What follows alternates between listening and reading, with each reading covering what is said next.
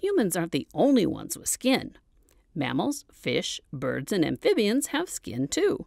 But some animals' skin has special properties that human skin doesn't.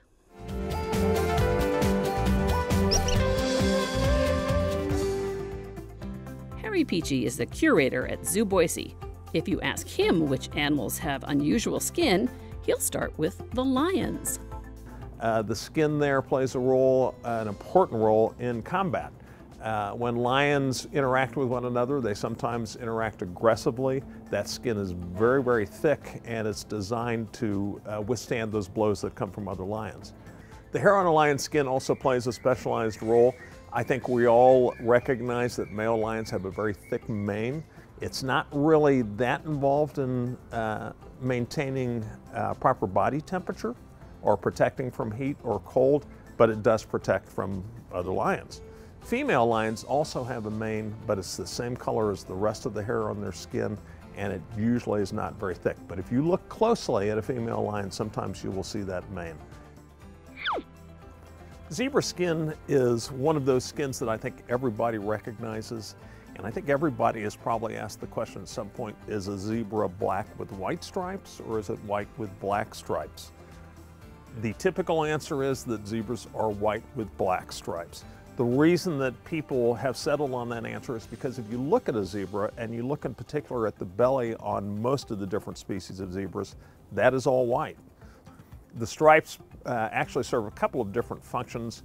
In general, it's part of camouflage. And if you see zebras, typically zebras are running in a group with other zebras. If a predator comes along and wants to, to catch a zebra, those stripes make it very difficult for a predator to settle on an individual animal. It also makes it hard for a uh, predator to judge distance in daylight. Uh, those stripes, the contrast between the black and the white, will make it difficult for a lion, for example, to determine if a, if a zebra is 70 feet away or 120 feet away. Unlike the soft fur of many mammals, reptiles have skin more like armor. Peachy says one reptile's skin stands out. Crocodile skin actually is, is very unusual and very specialized. Uh, they have some unique features that you won't find in very many, if any, other species. The skin obviously looks different. You can see a lot of structure in the skin that is unique to, to crocodiles and alligators. But the skin is able to do things like detect uh, magnetic impulses, uh, electrical impulses.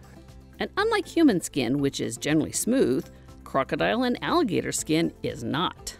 The bumps you see on the Nile crocodile skin are referred to as scutes, and those are part of that um, advanced, very specialized ability they have to detect changes and differences in their environment. Uh, in addition to detecting things like the difference in salt water and fresh water, they also are very sensitive to vibrations.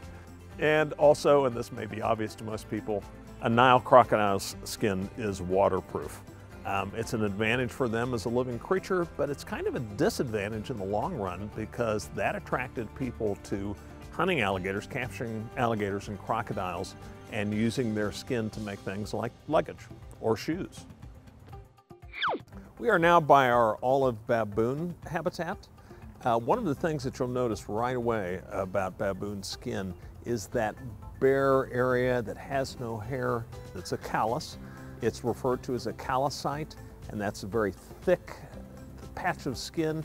There are no nerve endings there, so they don't feel things with that.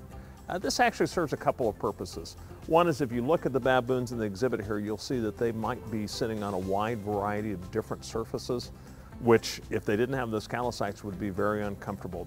But the other thing it does is it uh, serves as a communication aids. So a female baboon, for example, can communicate her willingness to interact with a male by the color of those callosities. When they turn pink or even red, that's an indication to a male that that's a female that might be ready to reproduce. Our last stop on this animal skin tour is at the southern ground hornbill. When you think of birds, you think of feathers before you think of skin, but uh, there is a feature that's very obvious on a southern ground hornbill that is made up of skin, and that is that red patch on the throat that goes up on the side of the head. That bag, if you will, on their throat is referred to as a wattle, and it's involved in communication. They use that to produce and amplify sound. That red skin on their face that is attached to that wattle, kind of an extension of that skin, is actually an adaptation that helps with southern ground hornbills when they are feeding and hunting. As the name implies, they spend a lot of their time on the ground. They will dig for insects, so they take that long beak and they will peck on the ground, and that throws up not only insects, but bits of dust and dirt. That skin around the eye, it projects a little bit. It reduces the amount of dirt that might accidentally end up in their eyes. Animals instinctively know to care for their skin. Some get clean, some get dirty, and some just chill in the shade. Zoos like Zoo Boise even design their animal environments with skincare in mind. Pools, landscaping, even special ramps like this one for the crocodile are all to help animals stay happy and alive. Since we all have skin, sometimes we'll take it for granted, but it's important to realize that without skin, we would not survive. A number of the things that our body has to do in order to keep us healthy are dependent on the presence of not just skin, but healthy skin. If you want to learn more, head to the Science Trek website. You'll find facts, links, games, material for educators and parents, and much more. You'll find it all at sciencetrek.org.